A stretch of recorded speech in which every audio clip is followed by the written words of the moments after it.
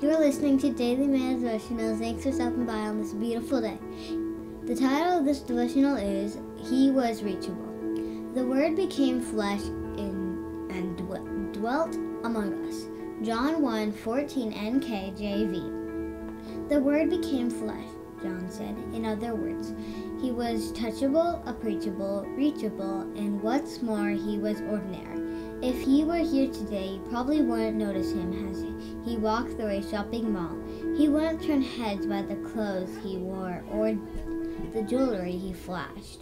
Just call me Jesus. You can almost hear him say.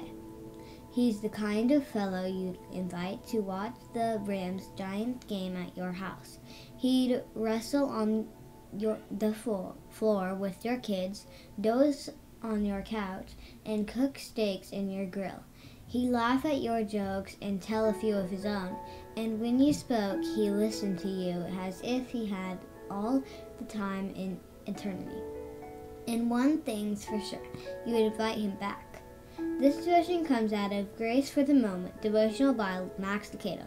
Thanks for listening, have a fantastic day, and God bless. Bye.